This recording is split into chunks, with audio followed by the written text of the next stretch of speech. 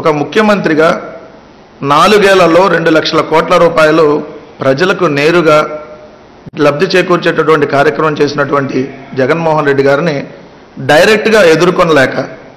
ఏదైతే అంతకుముందు మీరు చూశారు అదే తెలుగుదేశం పార్టీ ఆఫీసులో ఓర పంది అయినటువంటి పట్టాభి చేత ఏ విధంగా ముఖ్యమంత్రి గారి మీద అనుచితమైనటువంటి వ్యాఖ్యానాలు చేయించారో మీరు చూశారు. దాని తర్వాత ఇదే అయ్యన్న పాత్రుడితో అదే అచ్చెన్నాయుడితో అదేవిధంగా తెలుగుదేశం పార్టీలో స్వయాన చంద్రబాబు నాయుడు గారి కుమారుడు లోకేష్తో ఒకడేమో నాకుడు భాష ఇంకోడేమో పీకుడు భాష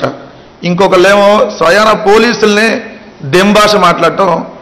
ఇప్పుడు మళ్ళీ ముఖ్యమంత్రి గారి కుటుంబ సభ్యుల మీద మాట్లాడించడం.